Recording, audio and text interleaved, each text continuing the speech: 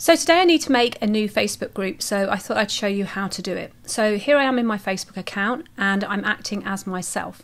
So all I need to do is come up here to these nine squares and go to create group. So now I need to name my group. So I'm going to do social video club members only. You can choose your privacy of your group. So I'm going to make mine private and whether you want your group visible to the general public or hidden. I'm going to keep mine visible at the moment, but if you wanted to, you can go ahead and do it hidden. You can invite friends straight away, otherwise you can just create your group for now. So go ahead and press create. There's already a member, already a group called SVC members only. So obviously if that happens, then you need to rename your group. So I'm going to name mine social video club and then click create. Okay, so now I've created my group. What I like to do first is actually make sure that the URL up here actually reflects the title of my group. So in order to do that, what we need to do is go into the admin area. So to find that, we need to come down here on the left and we need to go to group settings. Now group settings, we already have our name and description. So we've already got our name. This is where you can fill in your description if you want to. New member intro, we can add that in in a little while. Privacy we've already set. Hide group we've already set. Location, I'm going to leave mine open. Now to customize your group, we want to change the web address so that it reflects the name. So I'm going to change this to social video club members. Okay, so that's available. So go ahead and click save.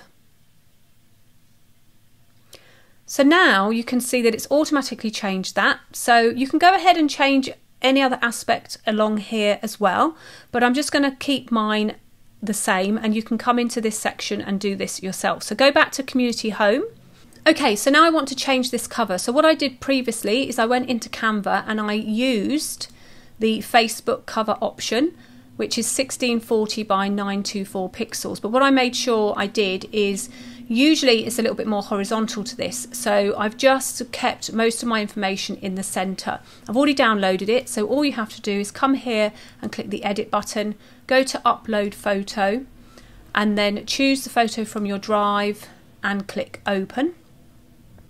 Now once it's uploaded you can see that there is this band across the top. So if you want to you can move it up and down a little bit just fitting it in better but that looks pretty good to me. And then just go ahead and click save changes. So now that it's saved that, you can see that it fits nicely into the space on the desktop and on the mobile. What will happen is it will probably crop it, but we will get the majority of that image in.